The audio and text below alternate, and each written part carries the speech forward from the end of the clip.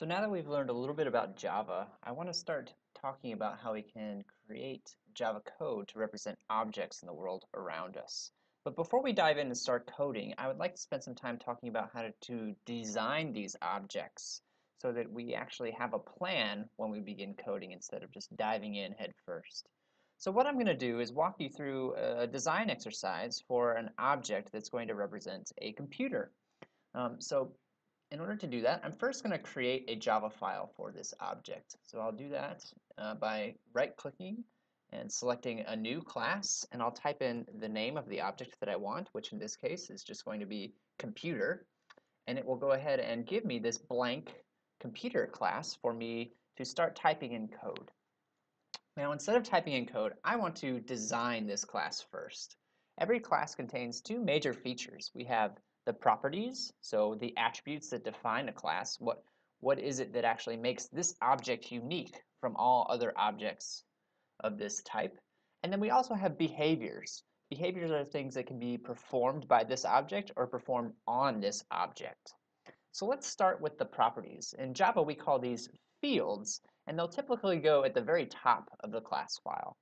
So if we think about a computer, there are lots of things that we can use to define it. We can make a very, very long list. Um, but to keep this simple, we're going to choose a, a, few short, uh, a few a short list of things that we want to use to represent our computer. So we'll do things such as um, list the memory of our computer, perhaps the size of our computer. We'll indicate some information about the processor and maybe the brand. Who makes the computer? Who, who actually made this thing? I'll include a label up here at the top to indicate that these are going to be our fields.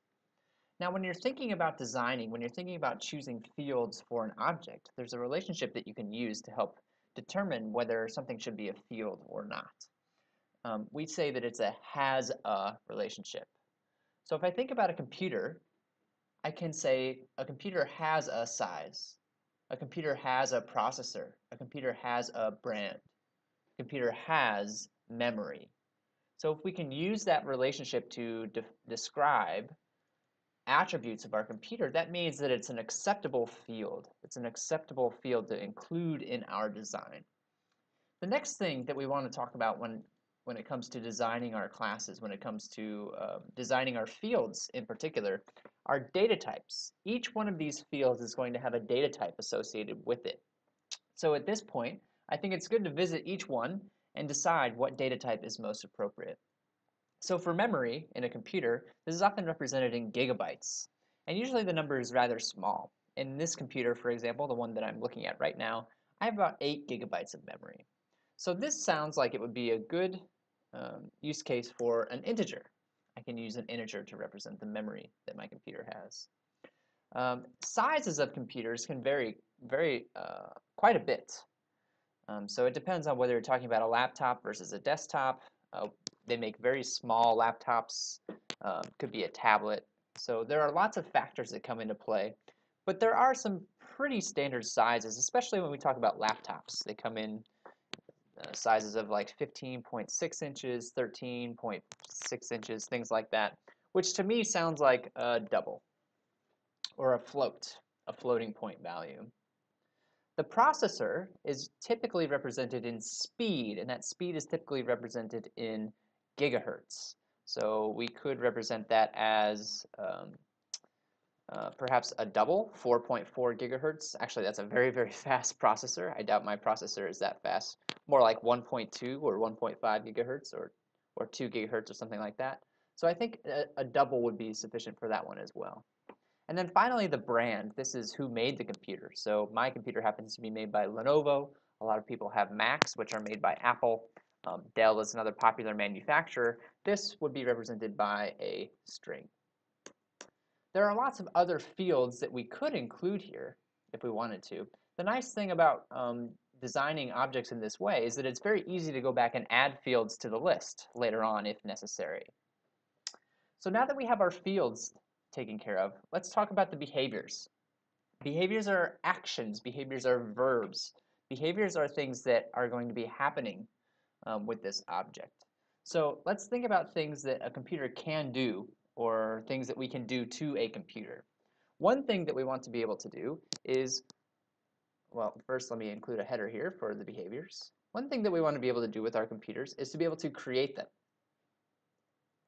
In fact, this is going to be true of nearly every single object of every single class that we design.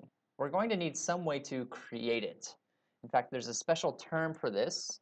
It's called a constructor. Nearly every class that we create is going to have a constructor, which allows us to create an instance of this particular object. That'll become more clear when we actually um, implement this object in future videos. So we'll, we'll uh, make sure to include a behavior to create this, uh, create this object. Then we might also want to get some information about this object. So we might want to um, get the brand name, for example. We might also want to get the size or get the processing speed, for example, or get the memory. Maybe we um, have had this computer for a while and it's due for an upgrade. Well, we can add memory, right? We can add memory or we can swap out the processor for a new one, for example. So we can actually change components of this particular computer. And then finally, one other method that's very common across all classes is displaying a bunch of information about this class as a string. It's a very special kind of behavior that we'll call toString. I'll show you how to implement this method in the following video. But let me include that on my list of behaviors. Display information as a string. So we've got this list of fields, and we have this list of behaviors. Again, I want to reiterate the difference between the two. Fields we think of as attributes. Fields are going to have data types associated with them. Behaviors are verbs. Behaviors are actions that take place. These eventually will become methods in our class. So what we're going to do in the next video is actually use this design to implement our class, to make it behave in the way that we want. And I'll also show you how to create instances of objects and use objects in your code.